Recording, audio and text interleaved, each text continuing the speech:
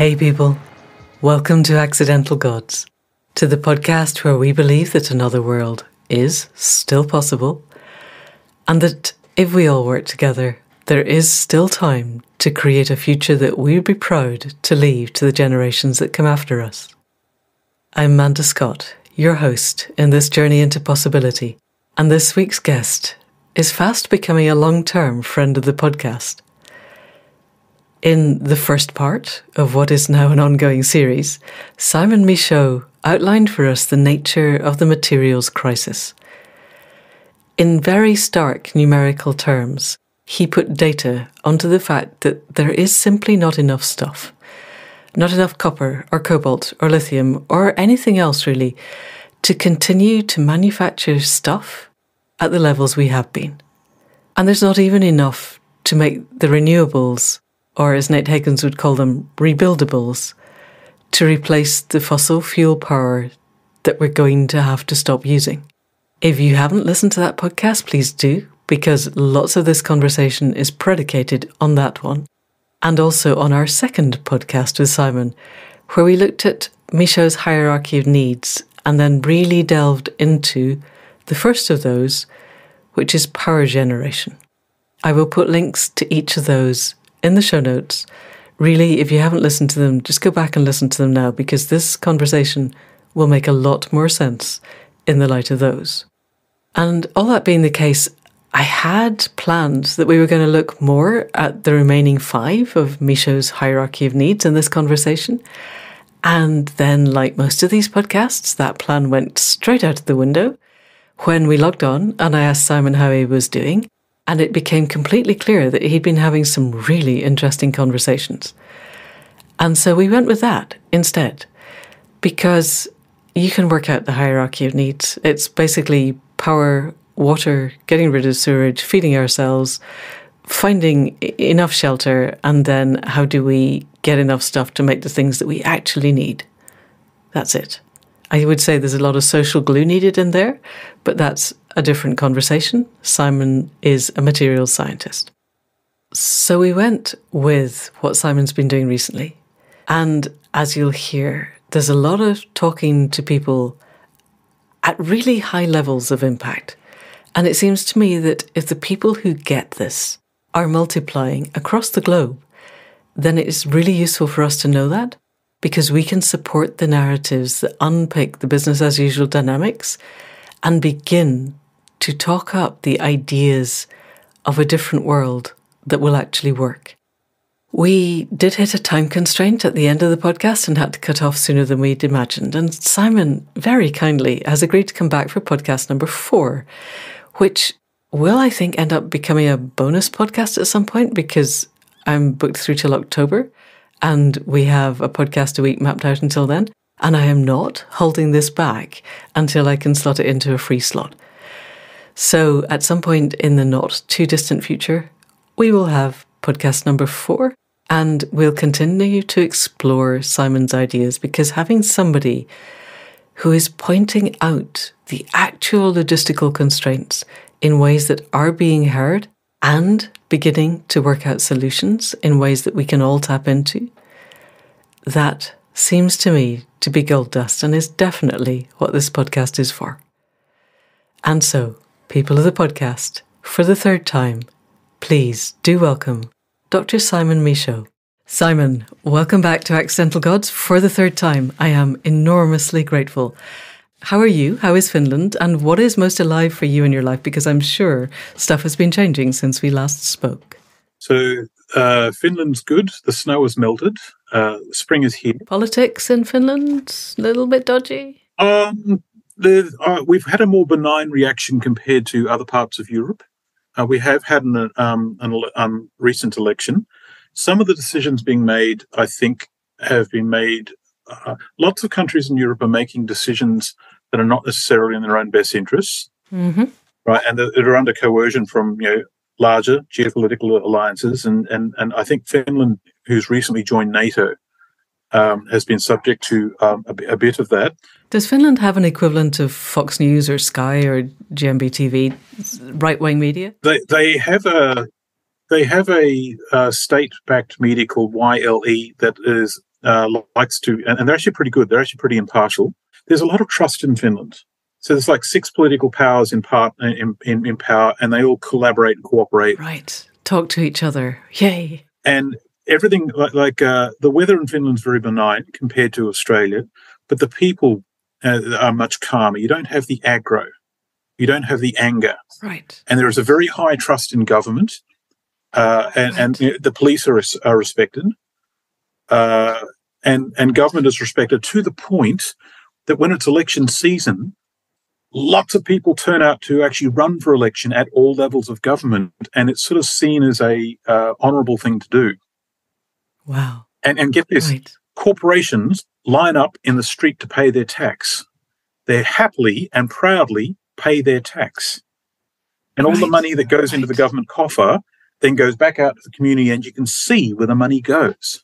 Interesting. But it's, it- there's a social contract at the center of that that is based on trust and respect. It'll be interesting to see if the media companies manage to destroy that in the way, because I'm guessing that in the UK, the US, Australia, we had something like that maybe 40, 50 years ago, but we don't anymore. The Finns won't wear anything else. Uh, in their history, they've Right. they've dealt with some fairly serious problems historically, uh, and, and and there is a strength and discipline here, and the recognition that that everything must be looked at in an honest way because challenging things do happen. Right, and living with a very long land border with Russia must must sharpen one's capacity for genuine democracy. I imagine. Everyone here is reliving what happened in the late 1930s, you know, when the Soviets tried to um, invade and were pushed back.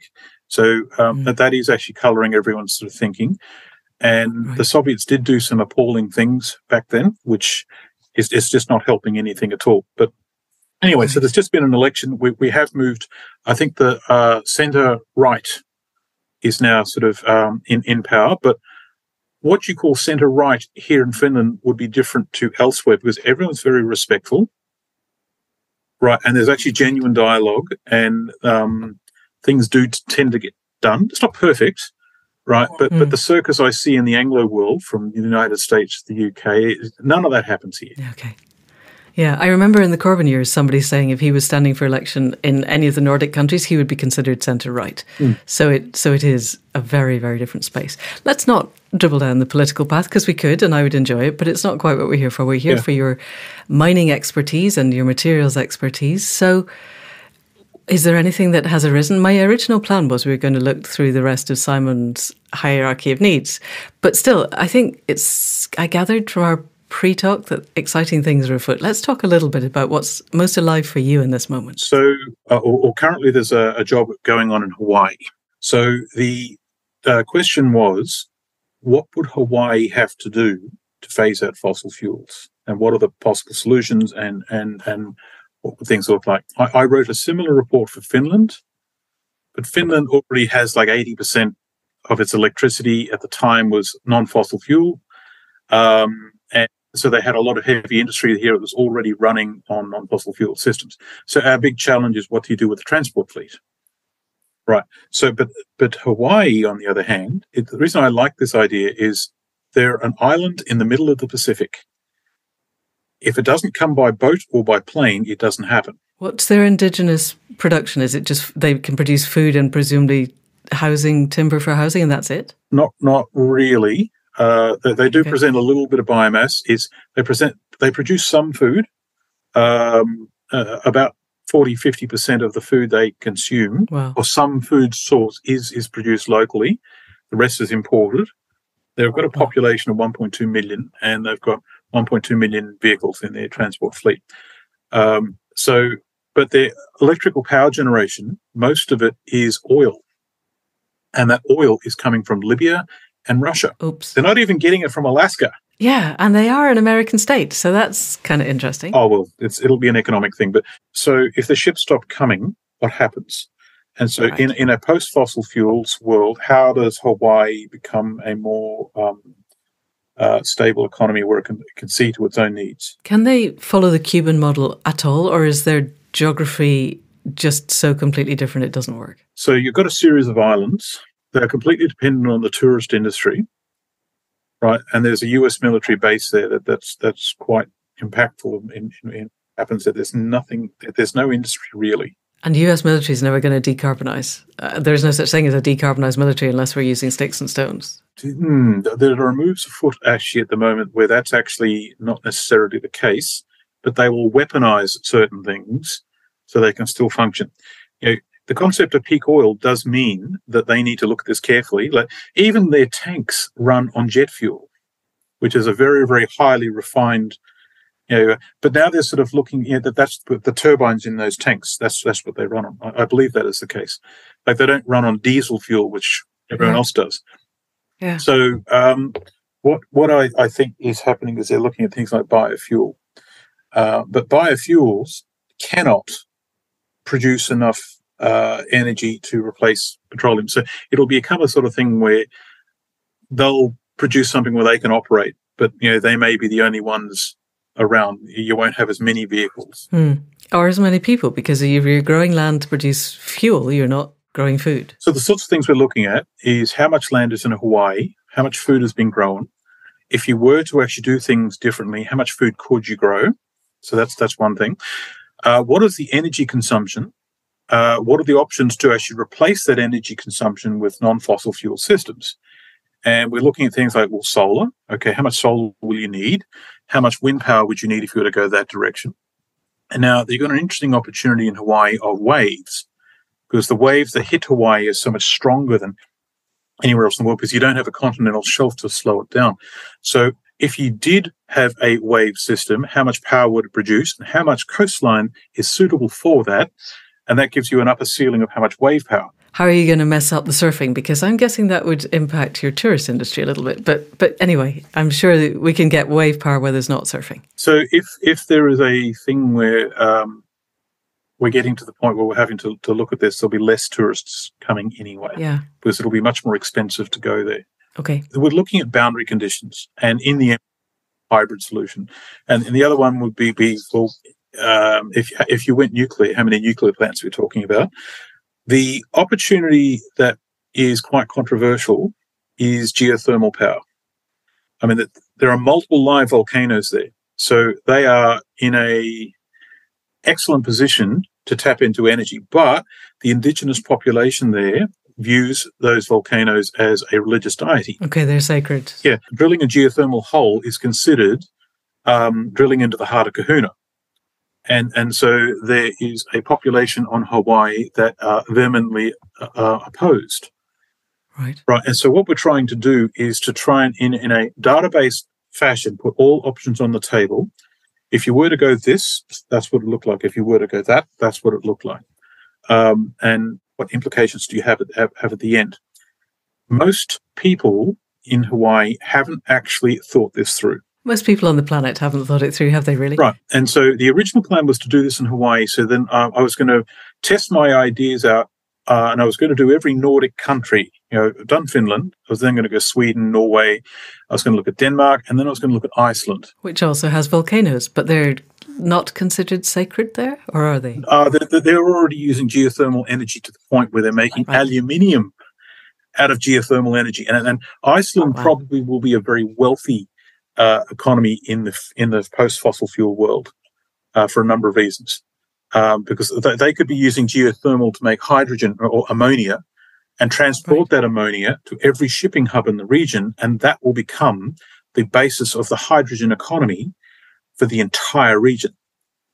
Wow! And so, so okay. they, they are literally um, the local Saudi Arabia uh, who will be feeding multiple Singapores until the Americans, the Russians, or the Chinese walk in and take them over. But let's hope that doesn't happen.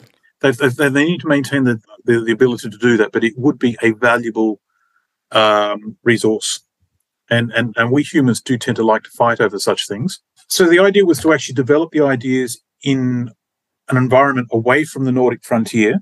And it was like a stress test. I'm now I'm now going to actually go into a tropical environment where we don't have to have heating. We don't we have a completely different profile. Yeah. Because if I do Finland and then I do Sweden, they're going to be very close to each other. Yeah. Um, and one of the things I routinely pull myself up over is: Do I believe my own PR? You know, do do I think I've got all the answers? And so I'm constantly putting myself in a position where put your ideas out there and, and look at it. Do they work? Right. and then cross validate them against something else that's completely different. Right. And every now and then it, it blows up in my face and my eyebrows get singed. Um, but but it does mean that the ideas are much stronger that, that, that come out the other end. Yeah, you learn something with every time it blows up, for sure. So what's blown up in Hawaii besides the fact that drilling into the crust of the earth is is not going to be acceptable to the indigenous population? They've got a culture that is very materialistic. Uh, they're, they're consuming more energy per capita than uh, um, most other countries in the world. Wow. They are very luxury driven, and so the cultural changes that are required that will be suggested in this report will not be politically correct at all. And so this has to be done in a way that is data based and well supported. Right. And all solutions have to be looked at, and all solutions have to have some kind of databases. Okay. Right. And so um, it, it's, it's actually quite uh, an important litmus test one of the things they say, oh, let's just go go biofuel. So they'll, Hawaii is a very green place, but if they strip the place to, to make biofuels or food or whatever, it won't be green for long. It, it'll the ecosystem collapses, and so you, you have some uncomfortable choices there. My role is not to suggest what choices should be made, but to put the data on the ground for what each choice actually is, and then let them do it. Now, I'm writing this in collaboration with some locals this is a, a report about Hawaii, but it's also written by Hawaiians for Hawaiians. So, so it is a Hawaiian-led initiative that I that I just happen to be part of. Brilliant. And is this at governmental level, or is it being produced and then the government gets to see it after? So I like to do the collaborative approach, where while I'm going to release this um, through through GTK, I want everyone locally that we're going to write it, we're going to get them to review it. And if they can come back and say, you are wrong, they'll be doing us a favor. The risk is if they come back and say, we don't like this, but can't say why, okay. and then cause trouble, that, that, that's a risk. And so, so we're going to, to see how we go with that. But if we can do it where everyone sort of involved has actually had a look at this and yeah, it's all, yeah, okay, all right. It's all very challenging, but we've, we've had a look beforehand. I'm outside the American system. I can say things that they can't. Hmm. The responsibility I bear for that is extraordinary.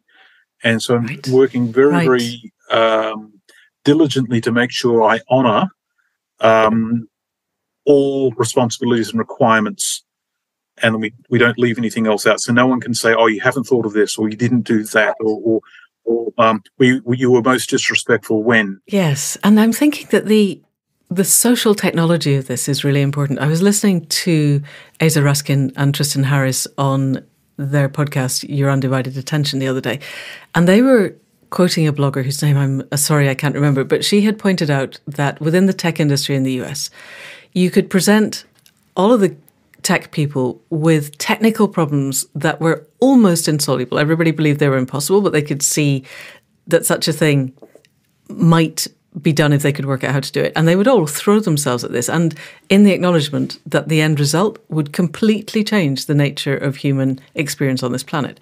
But when you said to them, what we really need is to get the, the heads of all the big six companies and some governmental people in a room together and basically keep them in the room until they can all agree on a method of regulating what we're developing so that it doesn't destroy all life on earth they go no that's too hard and so what i'm hearing with you is you're you're already beginning to address the that's too hard bit of how do we get the people who are basically a bunch of limbic systems quite primed to be triggered by the nature of the world at the moment into a place where they're capable of sober reflection and interaction. And I'm wondering how you do that, how Simon gets into a space where that's possible. You mentioned Buddhism and Chinese martial arts in a previous podcast. So, what I do is um, I've been put in a few situations in the past where very difficult situations, and I've learned that the opinions of others are not necessarily as important as I thought. And th- there's been a number of things uh, along those lines. The period for me of 2014 was a very, very black year. That was when my career fell apart. I lost my second marriage, and everything went horribly, horribly wrong. And all my normal um, things I would fall back upon that that I would rely upon were gone. And so you had to actually fall upon inner reserves. And I learned very, very well right. that when a community will take the time, when the community will take the time to tell you you're wrong and do a bit of character assassination. Behind the curtain, it's rubbish. They've got nothing. Right. And so, and so, and so, so, so belief in self. Right. With the understanding that what those beliefs are have got to be the strongest link in the chain. What do I think and why? Now, one of the people who were mentoring me professionally made a point of telling me once that, uh, ha, Simon, what do you think you're doing? Ha, you're so young and naive. One person can't change the world. Ha, ha, ha. This was like when I was first trying to develop this work back in 2010. And my response to that, and I didn't say it out loud at the time, but if, if, if someone told me that now, it says, all right, one person can't change the world, but one person can be at the right place at the right time when the world fragments into little bits.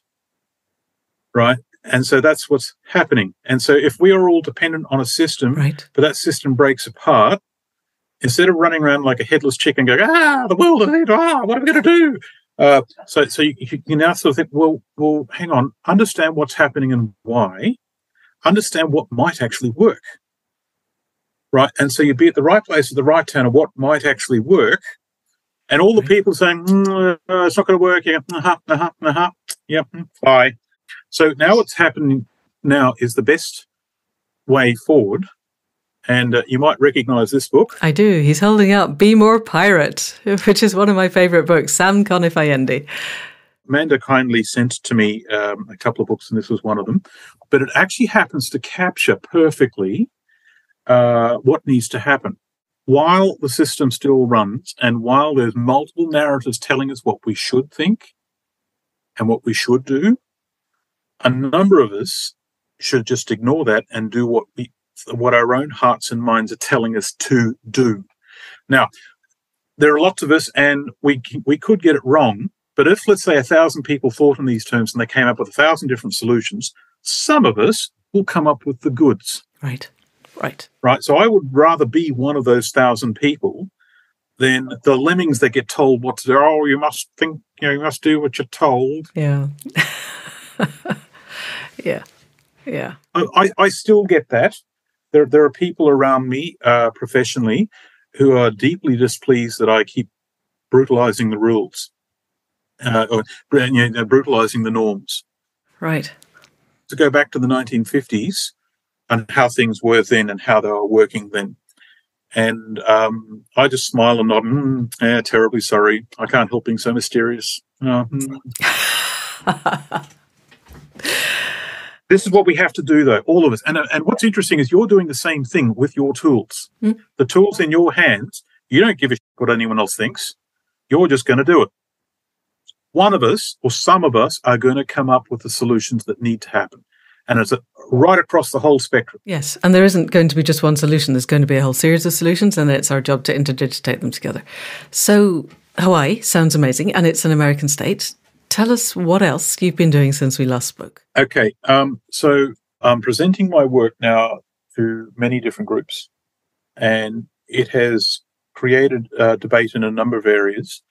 I've come up against a series of blind spots that have proven to be quite uncomfortable. I've been contacted by a number of groups who are not uh, uh, some, someone will see one of these podcasts or a presentation. Someone in the background, and some of them are like uh, uh, are at official conferences, and someone in the background will see it, and they'll go away and think about it, and I'll be approached later. As all right, we need you to present this to our group, right? And I'll do that, and they'll take the information, and they'll go off from there, and and then, then they come back and says an official group will approach me and says, right, now we need to actually sort of take this further. So the Finnish infrastructure has been quite good in they still don't know what to do. Right. But they are but they're at many different levels. They're trying to get their arms around this. And what's interesting is groups that this is the only thing that only happens in finland. Groups that traditionally disagree with each other are approaching this problem the same way. Right. Together or just coming at it from slightly different directions but in the same way? Slightly different directions but they're talking to each other. Okay. Wow and and I've not seen this elsewhere. So, so, so, something interesting can happen here in Finland. Wow. There's an Overton window and happens in Finland that does not happen elsewhere. It, it might be in other parts of, of, of the world, like it, the same thing might happen in Sweden and Norway. but I, I'm, I'm, I haven't actually sort of seen it for myself. What I am seeing is it would not happen in Belgium, and it would not happen in Australia, or the UK, or the US, or Germany, or anywhere where there's a, any of the places where you have opposing political parties. Yeah, well, there's opposing political parties here, but they, they tend to uh, uh, treat that oppose, uh, opposition differently. There's there's more collaborative debate here, where okay, we might disagree, but ultimately we want the same thing. Whereas elsewhere, like in Australia, I'm seeing pa- the need for payback. Okay. And, and, and it's aggressive and it's nasty and it's intellectually deceitful. And there seems to be no innocent parties in this. Oh, Every single one of them are rubbish. Yeah. There's a really good book in the UK written by the political editor of the Spectator, I believe, called Why We Get the Wrong Politicians. And it's I'm sure it's not just the UK. It's a process of, of electing these this kind of people means that we get the psychopaths. So let's leave them. Finland, you said they're not getting to answers yet, but they're presumably they're getting their head around the fact that there isn't enough stuff and that we haven't got the time to produce enough stuff to have this exactly the system that we have now rolling forward and that we need a new system. Is that more or less where they're getting to? They're getting to that, and they're also sort of sort of what could we do? And so there are multiple groups that are actually looking at that. Wow. Um, and um, even the solutions they're putting on the ground, they're, they're flawed with assumptions as, as, as well, but they're going for it. And have they got someone like you or someone within their own group, in case you're not there, to point out the assumptions? Because what you need is someone who's standing from the outside going, guys, you're just resting this all on a whole you know, bed of sand. It's not going to last. There is now four or five of us around the world that are give, putting out the same message that I am. Okay. Lars Schernikau, too, I think he's his, his name. He he wrote a very nice uh, book about you know, and, you know, the unpopular truth about energy. There's Mark Mills in the United States. Yep, good podcast. Harald Sverdrup in Norway. He actually evolved the Club of Rome system into a modern system, and he's actually got a very very nice piece of work showing essentially the same thing. Uh, yeah, there's, there's, there's, there's quite a few people out there that are actually now sort of saying this out loud and we're starting to connect together. Then there's people like Alice Friedemann who've been talking for years. Yes. What happens when your trucks stop running? Yeah, you mentioned her in the last podcast. I put a link in the show notes there. Yes. Yeah, and and, and or Gail Tverberg has been doing some excellent work about you know, what happens when the music stops, you know, you know financially, and how everything right. relates to, it together. And uh, yeah, there's lots of people who who have been sort of pointing out the, the obvious. So what's happening now is I'm I'm talking to every now and then officials within the American government. Wow, that's big, Simon. So what they are want to know, uh, they're trying to get to the bottom of. I've, I've, basically pointed out the blind spot needed for first of all um, storage. They're looking at these uh, storage, uh, stationary power storage needed for wind and solar. They did their own assessment in the United States across uh, across uh, two sections in 2022, and they found basically what I said was conceptually correct. It's more than 48 hours of storage that's needed. Tell me they got to that. Oh yeah, they got way past that. Good. They don't know how much storage is needed, right? But it it, it is it is much much more. They they think that even 28 days may not be enough in some circumstances. Um, but wind and solar underperformed. Um, and but they also uh, dropped off at the seasonally worst times. Yep, which is massively predictable, but amazing that you had to point it out to them. But never mind, let's let that go. Where does that take them then? What are they doing with that information? So, all right, uh, and and so they're also now coming to terms that there is no, we don't have enough minerals in the in the mining capacity, and there are there are shortfalls and bottlenecks there. Uh, and they're, they're looking at, for example, the MIT study that came out. MIT put this out basically saying we've got plenty of minerals, it's fine. Right. But when you actually look behind the in the in the fine print, they didn't look at any storage technology at all, batteries at all. Whoa. In cars or stationary storage. And so what that meant was 95% of the calculation did not happen. Right. And then there was the um, Elon Musk presentation that actually came out recently, uh, and, and they've they've actually found that to be deeply flawed as well. And they're looking at it, and they're using my work and Mark Mills' uh, uh, work to do it. And they're talking to us every now and then about uh, what to do, and they need to get to the bottom of it because all future plans they've actually made have been ba- based around the Princeton University's Net Zero America project. And that was the one that made the assumption of 48 hours battery. Uh, they wanted five to seven hours. That's insane. You wouldn't even keep your bike on five to seven hours battery storage. Yeah, no. What, what they're doing there is the difference between supply and demand on a day to day basis, and sometimes it's a little bit more, sometimes it's a little bit less. And if that's all you're doing, you're keeping five to seven hours storage for a couple of days at most. So they didn't look at the long term variations. Yes. Or or even the basic seasonal variations. No, not at all. That that that never actually entered their their cal- uh, calculus at all, and that and that's the source of the problem. Right. Anyway, so, so we're now having those conversations, and again, there is an enormous responsibility to get that right. Um, so, and there's a number of uh, things that are happening in the background where I'm I'm shaping my data sets to actually meet specific questions that they have asked. Right. Okay. Right. And so um, the other piece of work I'm now looking at is um, uh, has yet to start, but I was um, uh, we'll see if I get to it. But what does coal do for the manufacturing industry? Uh, most of this happens in China, but they're consuming vast amounts of coal to do our manufacturing, and and because there's a lot of heat involved, right? Uh, if you did knock coal out, what do we replace it with? Right, To make a solar panel, you've got a solar wafer, uh, a silicon wafer. You've got to heat the silicon to 2,200 degrees Celsius. At the moment, we use coking coal to do that, and it's, all, it's only done in China. And that the Chinese are unlikely to do what we suggest.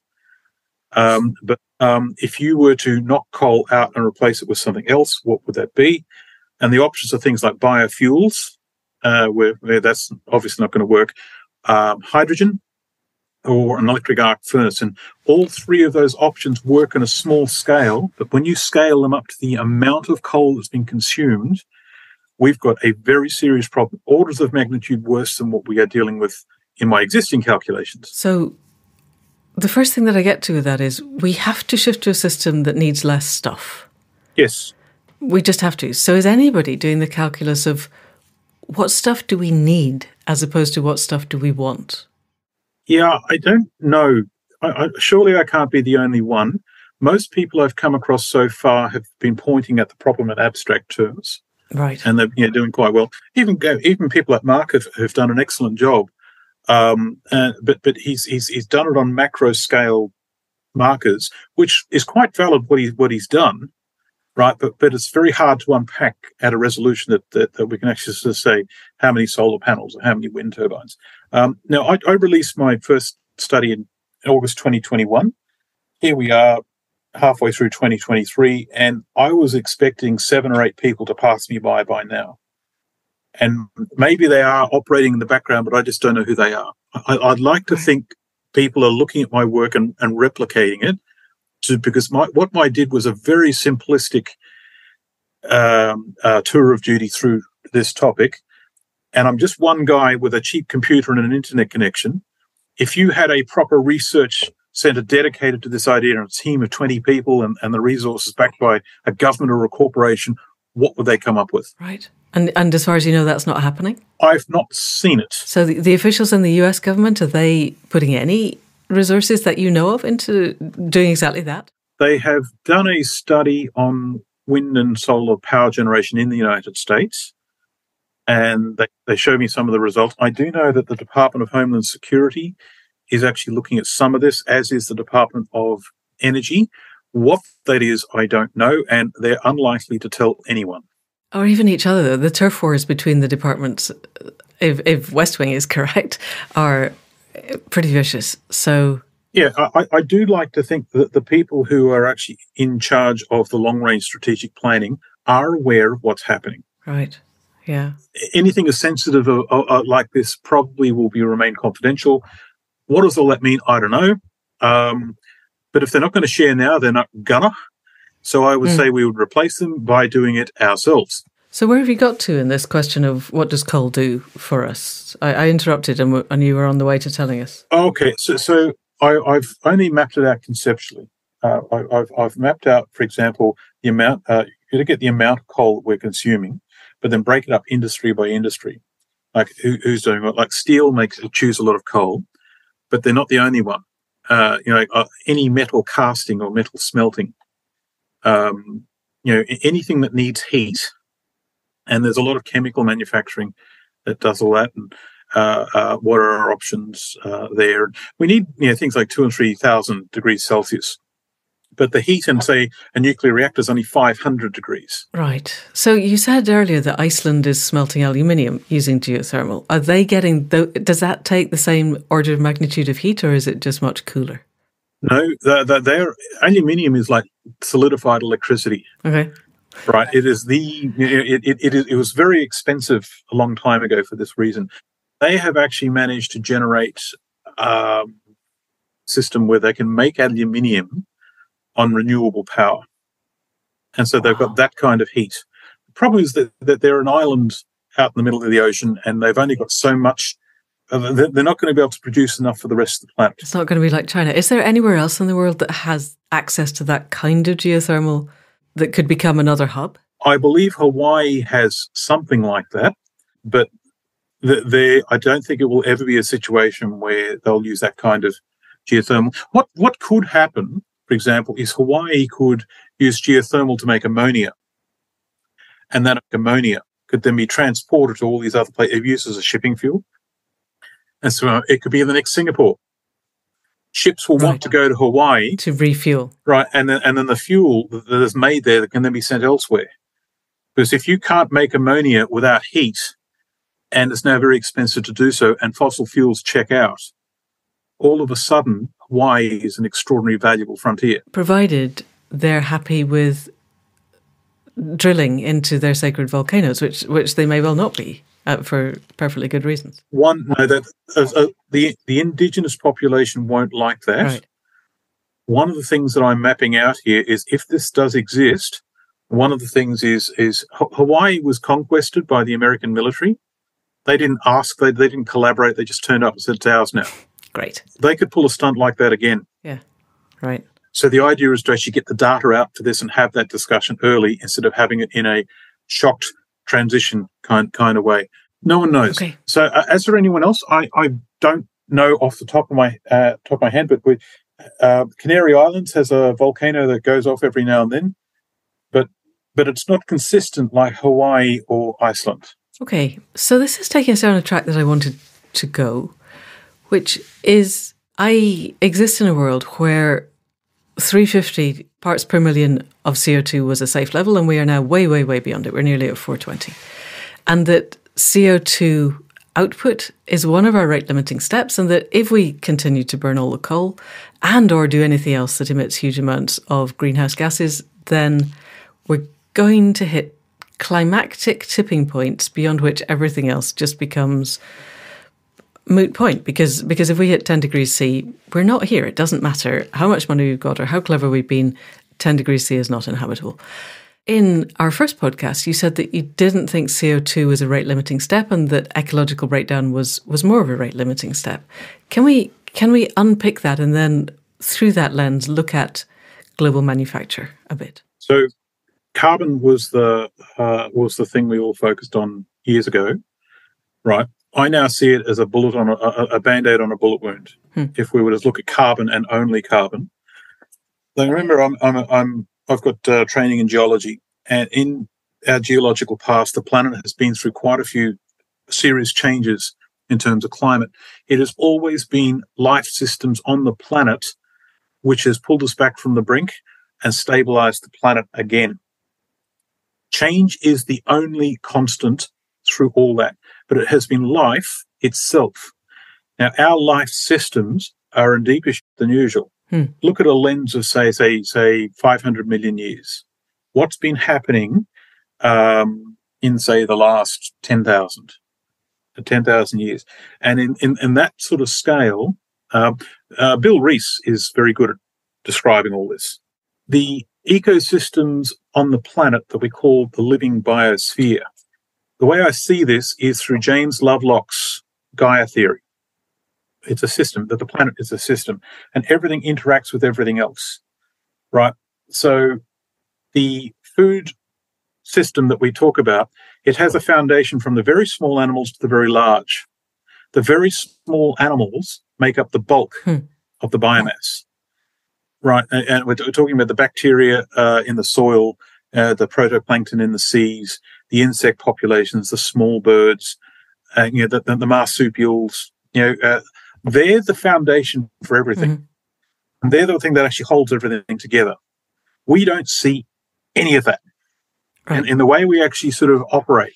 And and so what's happened is our it's uh, trouble has happened in two sectors. One is our industrialization, and the other is food production. So if we're going to fix this, it has to come through those two vectors. So the ocean acidification has become a problem, and it, it's it, that that's building, and we're hitting the tipping point where there's the carbon absorbed by the ocean is not being consumed and turned into shells yep. by the by the protoplankton, and then you start having feedback loops. Land degradation through industrial agriculture that has shrunk to about a third of what it was in 1960. But there's all sorts of other metrics. Uh, you know, like you know, f- fish populations mm. are collapsing and mm. insect populations are collapsing. Right. If the entire bottom of the food chain in size is collapsing, what does that suggest for the complex organisms like large vertebrate mammals like us. It's not great.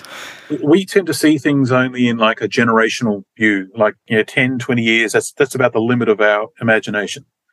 But in an ecological context, uh, the resolution lens we should look to should be in a scale of say 10 to 20,000 years. And that relate, relate to everything else if we are in a situation where the system is going off the rails and it's going into correction, our ability to do anything about it rests with the living biosphere of the planet.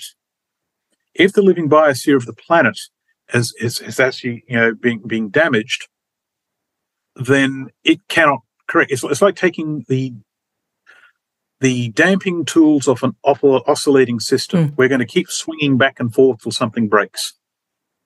Right.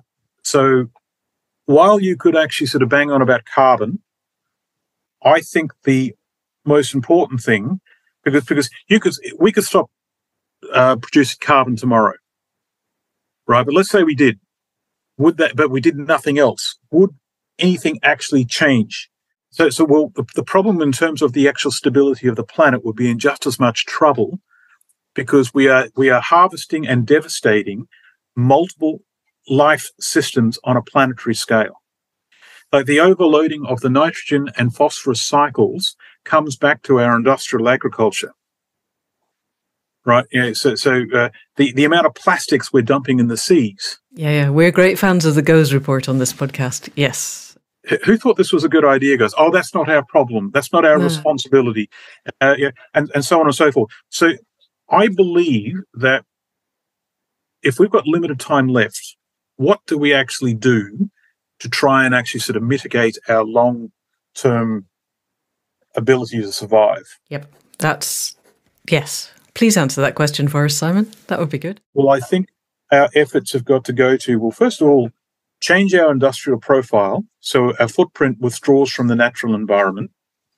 We stop dumping large amounts of pollution into the system through the seas, through our waterways, into the soil like our industry systems are actually quite small in terms of area, right? It's, it's only about one or two percent for cities and industry, where, where for, for, for the whole planet. But the waste plume that comes off these things is humongous. Yes. Right. We've got to get to the point where we stop doing that. We work out a way where we where we've got to live. If we don't maintain some kind of industry, we're not going to be able to maintain the existing population. And, and we're not going to be able to maintain dense uh, population cities like like cities. Can we do that? So it seems to me that that's a self-evident thing that we we can't keep maintaining the industry and we can't keep maintaining dense centres of population if we are going to make the leap. So I have in my head, and I think you said it on Nate Hagens' podcast, not ours, that we have 19 rolling terawatts. Five would be better. Yep five is not compatible with having cities. It's not compatible with having the scale of industry that we have at the moment. So the scaling down has to happen. What seems to me yep. the the metric that I'm wondering how do we get to it is how do we scale down in a way that takes everybody with us and doesn't cause global war and or global famine and or any other catastrophic loss of all species life. So if we started this conversation in 1972 when the Club of Rome report was actually released and we could actually possibly discuss this, we might be able to correct over a period of time. We didn't. But it's 2023. Um, yeah, who would have thought? Uh, so we didn't. That's the same simple answer. The vast majority of the people around us are not interested in these ideas, so they're not going to do any given solution that we might put together. However, the system is under unprecedented stress. Now, I like the idea of biomimicry and actually looking at how does the natural world solve its problems? And when we have a badly behaved species, what happens next? Species die off. So what's going to happen is I think the system's going to fragment. Like our ability, our ability to operate the 19 terawatt society uh, is contingent on cheap abundant energy and cheap abundant credit. Both those are going sideways. We also will have uh, problems with uh, raw materials availability once both of the uh, other two check out as well, and we've got you know, you know declining grade and, and, and all that, which which making life more difficult. The system's going to fragment, right? So it's not going to be a case of planning to go from 19 uh, to 10 or 19 to is it is it two? Is it five? I don't think anyone knows. But the system will fall apart, and our ability to maintain that system will be the contraction. Is it anybody you're talking to people within the US government? Are they having this level of conversation? Are, are, are they even thinking it behind closed doors, do you think? I think under the continuity of government protocols, there are plans, and I think FEMA in particular are actually looking at that. Um, they will never tell us what they're really planning. Okay. Uh, these are personal opinions that I've personally put t- together that, that, this is the way I think we're, we're going to go.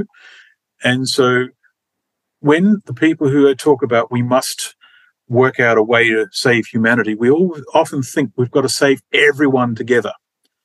Right. But now what I'm sort of seeing is, well, that's actually never going to happen. Right. We, we are never going to get to the point that, and, and, and that's simply by virtue of not everyone wants to engage and in fact, the very people mm. who don't want to do it will take the time to try and stop you and take resources from you if you try to tell them about this. Is there no way to get through? Do you not think? I mean, a lot of people. Oh, there's a way. Oh, certainly the people that I meet who don't get it, it's because they're being told not to get it. Yeah, but think of humanity instead of 8 billion individuals as one organism. Okay. Nate Hagens. One yep. obese organism that's addicted to crack. Okay. Lose some weight, kick the habit. Right. So humanity will get through this. How many humanity get through this? That's another conversation that uh, most people find very stressful and, and are not interested in partaking. It's a very hard one because everybody wants me to get through this, you know, the person who's having the conversation, plus the people they know and like. And actually, six degrees of separation means that's the entire planet. And nobody wants to be going, okay, so that nation over there, that can all go because that's that's not a conversation that we can have. How do we how do we have an intelligent conversation about this?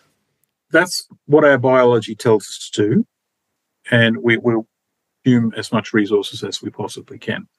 And that's just just you, you, watch, for example, what a possum does, or or a bush turkey. In, in, in Australia, we have a species called a bush turkey that it's like this this ugly looking chicken that that looks rather anemic, but is amazingly resilient and will strip an entire area and make a nest. And that nest, mm. it'll put it, for example, right in the middle of the path. And if you tell the turkey, move, the turkey just ignores you. You know, if you take the time to dig the nest up and hope that it'll go away, as you're packing the tools up to walk away, the turkey's rebuilding its nest. It's building a new one. And I go, yeah, they're the, and they're the most resilient animals I've ever seen. Right. So anyway, uh, I think it's going to be a case of discussing boundary conditions. The very fact that we are having this conversation 50 years after we could have done it, we've got to recognize the fact that we're running out of time. And what does that actually mean? No one can actually predict the future. It's futile to do so. What we can comfortably say is the wheels are going to fall off in multiple sections. And so now we can say, what is the human capacity to put the wheels back on? And if we do, will they be the same wheel? But my assumption is they can't be the same wheels. Well, they can't be the same wheels, no. So people think someone will come up with something, human innovation. okay, human innovation. I'm actually part of that group to say, yeah, human innovation. Yeah, let's do it. But it takes time. Let, let's say I came up with an amazing idea that was the solution to all their problems. How long would it take for me to communicate it to everyone else, get it funded, get it scaled up to industrial levels, get it manufactured and distributed so everyone on the planet can access it? Well, that would that is presumably, I would think, a function of the first question and we have a global internet now. For the first generation in, in the entirety of human history, we can communicate with the entire planet very, pretty much in real time. If we can build a narrative, a story of this is Simon's vision of the future, and guys, this is a future that is actually better than the present you're in at the moment, and you would like to get to it. And here are a reasonable set of steps that will at least move us in the right direction. And any innovations you can come up with that get us faster, that's a good idea. Would you not then get this is okay i am this is uh, probably a rhetorical question because if you say no you've just destroyed the entire meaning of my life so please don't. Because i'm writing the novels that's trying to do this. Because it seems to me if that we have logistical issues i have completely got all that you're saying if there isn't enough stuff. So we're going to have to have a lot less stuff and have a culture that is based on a tiny fraction of the amount of things that we are making at the moment. We have to somehow envisage enough of a door opening to a future in which that is true, and yet people are living resilient, fulfilled lives with agency and that sense of being and belonging that everybody craves.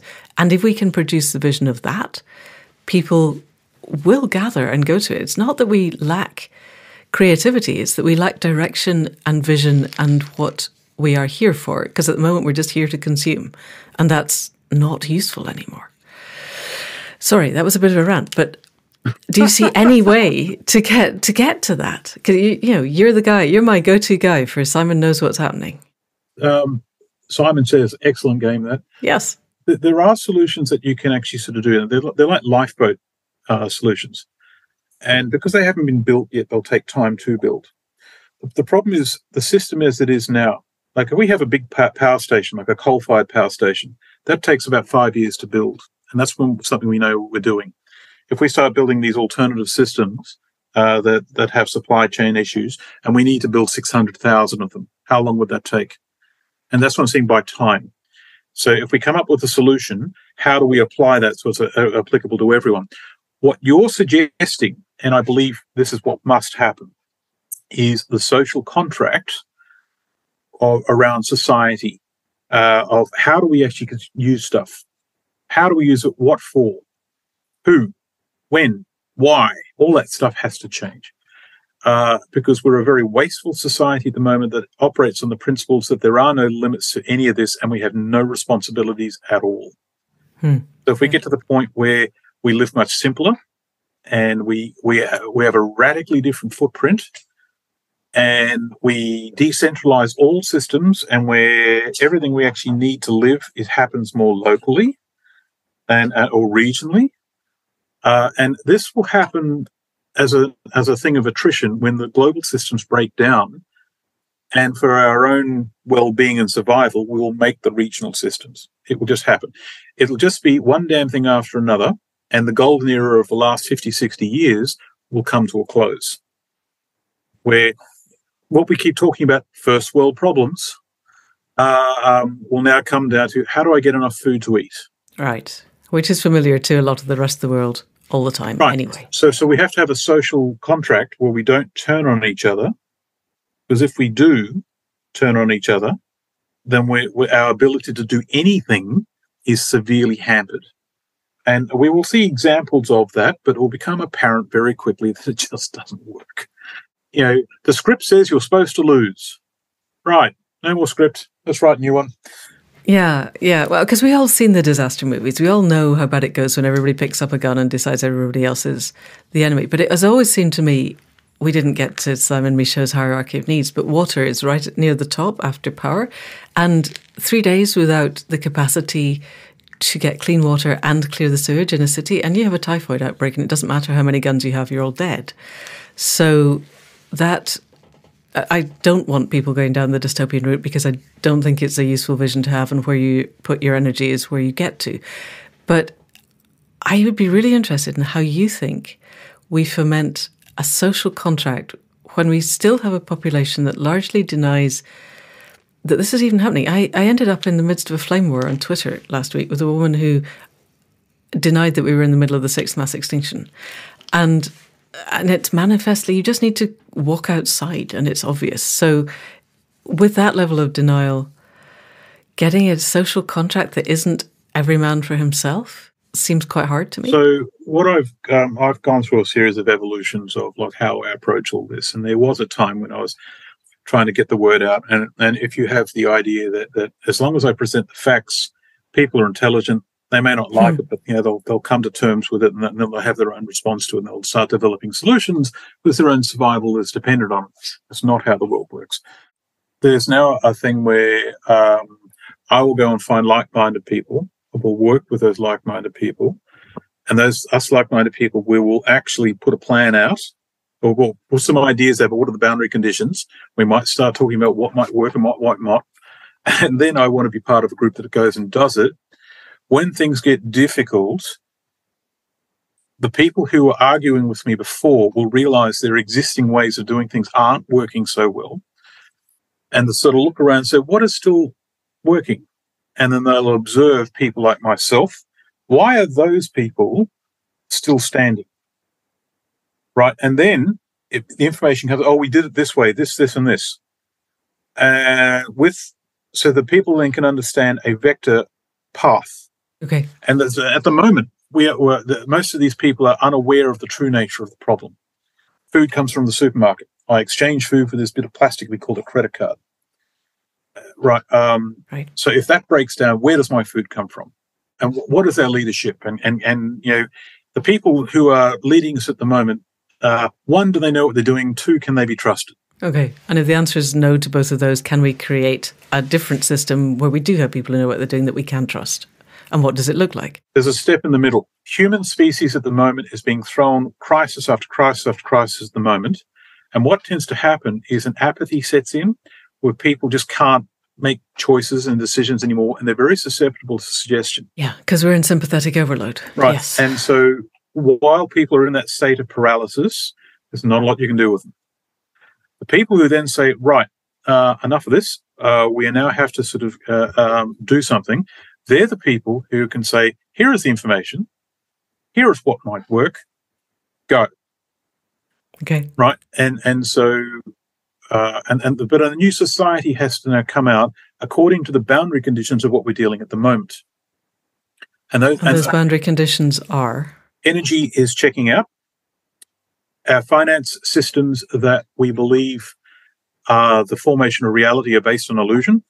It's been the case for a long time. I know I said in the last podcast I didn't want to go down the economic route, but I heard, and I haven't checked this up, that the day Credit Suisse went down, I think about three weeks ago on a Friday, the the Federal Reserve, the American basically bank, created more money in one day than it had created in the whole of its previous history. Yep. And it seems to me that money hasn't been tethered to anything real, at the very least, since Nixon cancelled the gold standard. That's correct. What what is to suppose that at any point it's actually going to have to relate to reality? Because it seems to be managing not to quite well. This is the path of Zimbabwe. 2008, Zimbabwe got hit with hyperinflation. Zimbabwe was a, a closed system. The current system has been able to keep a lot of the money creation off books, giving it to the bankers to put in tax havens. Yes. And so they're actually, uh, when they're printing money, they're doing it in increasingly large sums. It's getting to the point where the numbers don't mean anything anymore. So we've been kicking the can down the road. It's taken 50 years to get to this point, but it's all the way back to 1913 and the, and the formation of the credit uh, of, Federal Reserve Bank in America and the institution of the fractional reserve banking system that has actually sort of you know, things have spiraled out of control. But it's taken this long to get to the point where that system locks up and falls over. Okay. And because they've been, it's, it's like an empire which means that system is ubiquitous, it is everywhere, and there are no alternatives that are allowed. All currencies are fiat, all currencies are tied to each other, including you know, the US dollar and the um, European euro, the British pound, Japanese yen. They're all yeah, entwined with each other. And, and so Bit, Bitcoin's another uh, problem again. And I believe the purpose of Bitcoin was to educate public the public what a cryptocurrency was. So when the Fed releases their own version of the cryptocurrency, like the C, what, what do they call it? The CB, central bank digital currency. There it is, the CBD. Okay. And so the Fed has made one of their own. So the European Union has, and the Fed, and they're actually sort of talking about uh, releasing it and rolling it out. I believe it will have the same structure as Bitcoin, and that's their plan. And so the whole point of Bitcoin, yeah? But the point of Bitcoin is that it's mined, and there is a limited amount of it, and they'll stop mining it after forty years. And uh, how can anyone get away with we're just making this stuff now, guys? So if it's actually coupled with, say, a social credit system, if it's also coupled with, say, a carbon credit management system like the ESG system, um, dear Lord, and if it's coupled with a ubiquitous surveillance system, mm. uh, we are tracked in all these ways and everything. So we're not okay. just tracked. We're, we're hitting we're hitting really dystopian science fiction states now. Do you think this is a? It's happening there. This is actually the the uh, fourth industrial revolution where they actually want to merge humans, the human society with technology. But it's a control mechanism. Okay, so the good thing is we're all going to become extinct before they actually get to this. No.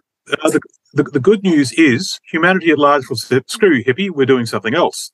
Oh, I hope so. And we leave the cave. Okay, if this were a novel, though, Simon, my editor would be saying there's a bit of a jump cut there.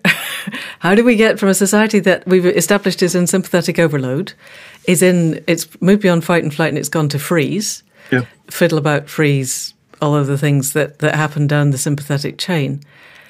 It's you need a, a degree of getting back to resilience and a sense of agency and being and belonging before you can have the creativity to say screw you, hippie, I'm not having this anymore. Also, you need to not feel that you have to earn the money to pay the mortgage and or the rent because otherwise you're going to be under a railway arch with a handful of plastic bags sleeping in a cardboard box. So freezing will only work for a short period of time when, for example, the basics of why can't I get the basics anymore? Why can't, why can't I have enough money to pay my rent or get buy my food for my family? freezing will work for a period of time. Don't know what to do. Don't know what to do. We can just hold it. they stop trying to solve problems and they're just trying to get by.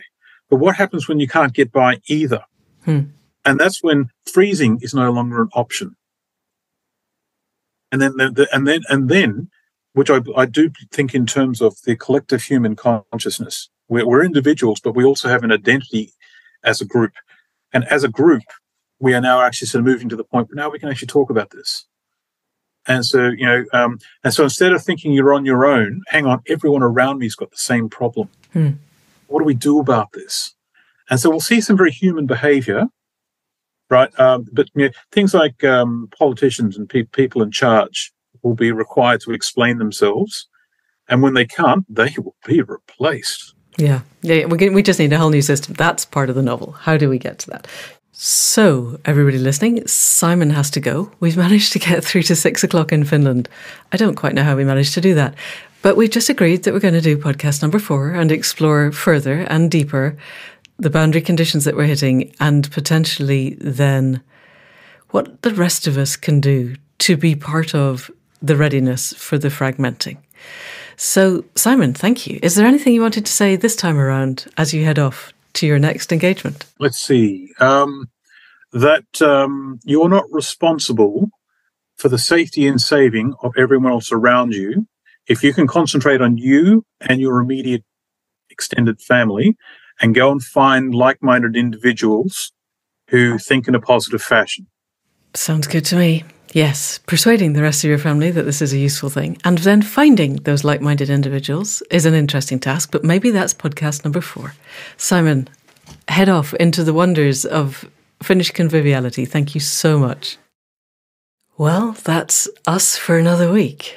Thank you, Simon, for taking the time in really what is sounding like a very, very busy schedule to talk to us and to explore some of the less data based ideas and where we might go. And as he says, really reaching out to the people who get it and beginning to form communities does seem to me at the heart of what we're doing. Communities of place, obviously, but also of purpose and of passion. And those are the ones that don't need to be geolocated exactly where you are within walking distance of your house. You can build communities of people who get it and begin to work out what would happen if the supply chains began to break down. I'm hoping, having listened to some of Simon's plans for the future, that we have at least five years. But we might not. And having interim plans that we can adjust and correct and see how they work is never going to hurt. As most of you know, we're on a small holding and we had two lovely people come and do some consultancy this morning on holistic planned grazing. Thank you, Lizzie. Thank you, Rob. And one of the really interesting ideas that I hadn't heard before was that you decide what your baselines are, decide why you're doing what you're doing. That's obvious. Make your decisions as best you can and assume that they are going to be wrong. That's the bit that I thought was interesting. If you assume that you're going to be wrong, you take the pressure off having to be right. And then you can just watch and see what the indicators are and see are things growing as you wanted them to? This is a farm. But are things developing as you wanted them to? And if not, can you tweak some more? Assume that you're making it a mistake, that you're getting it wrong, and see what happens. And as we go forward into an increasingly uncertain world where change is the only baseline, that capacity to assume that we're getting it wrong, but still to make the changes and see what happens, is probably one of the greatest helps to resilience that I can imagine. So if you do one thing this week, have a look around you. Think how you want the world to be. Think how you want to be in it. Is it like you want? If it's not, what changes can you make? Assuming that they will be mistakes, but you can correct them and see what happens. That feels pretty good. That being the case, we will be back next week with another different conversation. In the meantime, enormous thanks to Caro C. Thank you for the sound production and the music at the head and foot. Thanks to Faith Tilleray for the website. For wrestling with the search function, please use the search function, people. It took a lot of work. It looks lovely to me. And for the conversations that keep us going. Thanks to Anne Thomas for the transcripts. And as ever, an enormous thanks to you for listening. We so appreciate you being there. And if you know of anybody else who really wants to get to grips with how the world is changing and what we might be able to do with it, then please do send them this link. And that's it for now. See you next week. Thank you and goodbye.